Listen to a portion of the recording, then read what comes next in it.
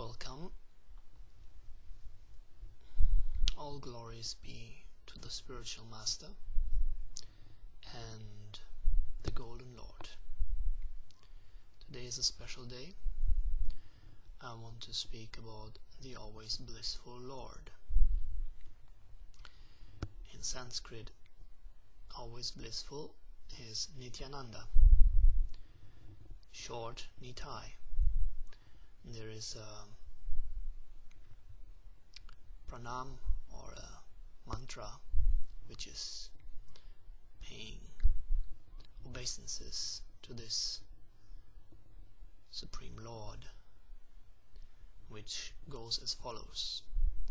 Sankarshanaha Karanatai Garbhodashai Chapayoptishai Sheshascha Yasyangsha Kala Sanitya Nandakya Rama Sharanam Namastu Namastu. So this verse is saying the following Sankarshan Sheshanag and the Vishnus who lie in the Karana, Garba, and Kira ocean are the plenary portions of the plenary portions of Sri Nityananda Ram. May he give me shelter. So, now I want to speak a little bit on the significance of the different names that are given here, which are all different names of God and different functions that He's taking in different uh, levels of existence or frequency or consciousness. So, as we've been discussing before, we have um, three planes of existence mainly. Can be divided like this for a better understanding. For us, in the conditioned or limited consciousness, we have these three divisions. Though there is only one divine energy, the energy of God, called Swarup Shakti or Radharani, still this energy manifests on different levels in different ways.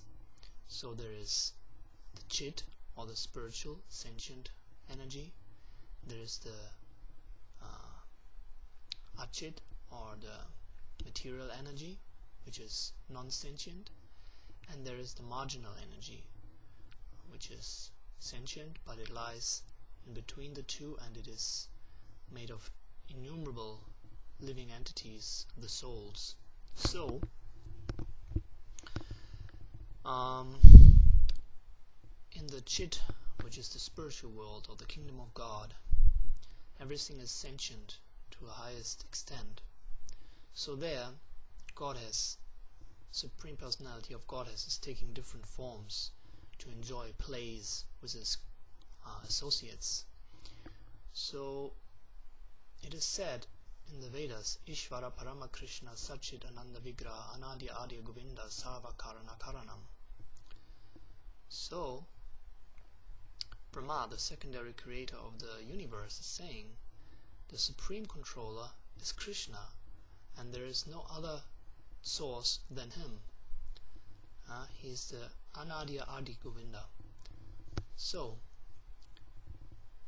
Krishna has a younger, no, in this case, I'm sure, he's the older brother. So anyhow, he has a brother called Balaram.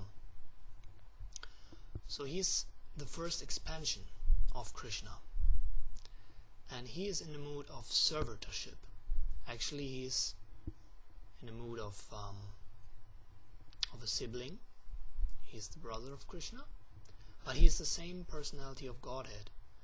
But for the sake of play and lila, he's taking this form. So, and from him, different incarnations come, different expansions in different um, dimensions of the spiritual world. And when it comes to creating the material universe, which is said to be one quarter of the divine energy, then he is becoming Mahavishnu. or Karana Dashai means he's lying on the causal ocean, ocean. And from him emanate countless universes like little little bubbles. And um, in each little universe he's going and he is taking place in this universe as Garbhodashai on the Garbhodaka. Garbo is also the womb. So he's taking place in the womb of this universe. And then again, inside the universe, there are countless atoms, living entities, and elements, etc. So inside of every atom and inside of every heart of every living being, he's entering again as Kshirodakashayi Vishnu, who is also the super soul that is accompanying every living being on its countless journeys from one life to another. So, furthermore, he's taking another form, and that's the form of Shesh. So Shesha is holding all the planets in their orbit, and he's lying in the bottom, at the bottom of the of the universe, in the waters, because the bottom of the universe is filled with water according to Vedic cosmology. So, and these are all different expansions of Ram, who was originally Balaram. So, because he's doing all these services to Krishna and Radha, who are the original divine couple. That's why he said he is the servitor personality of Godhead in a serving mood. And if we want to achieve our position as uh, servants and lovers of God, we need to sh take shelter of Him. So that is what is said here in this verse. Sankarshan, uh, is one of the first expansions of Balaram. Shesha, who's lying on the bottom of the universe. Vishnu, the all-pervading Vishnu forms. One who's lying on the causal ocean. One who's lying on the in the universe and one who's lying in the milk ocean or in every atom and in every heart of every living being are the plenary portions and portions of the plenary portions of Sri Nityananda. So that's what I want to discuss last because today is actually Nityananda's appearance day. So Nityananda is um, the same Balaram. He's not a plenary portion. He's the same as Krishna's brother Balaram. Many people don't know this, but um, it is a hidden incarnation that Krishna is taking in the Kali Yuga, the Iron, Iron Age, the age of quarrel and hypocrisy that we are in now. It's called the Winter Age, in the cycle of um, different cosmic ages. And um, so 500 years ago, Krishna appeared again to show the path to loving devotion the path to full mm, intimacy with Godhead. He had some personal motives, but he also came to give this spontaneous, loving service in complete ecstasy to the supreme divine couple Radha Krishna. So he, Krishna, came in the mood of Radharani. And at the same time, his brother came with him, of course, as always, um, all his associates are coming with him.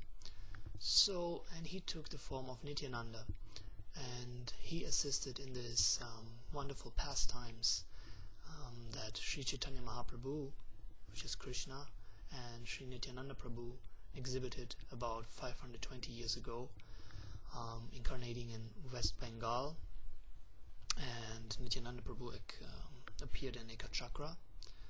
So this is uh, the first part of this video on the glories of Nityananda Prabhu. So I'm begging His mercy that one day I can realize all these things that I've been talking about and achieve loving devotion to the Supreme Divine. Jai Nitai, Jai Nimai. Srila Gurudev Ki Jai.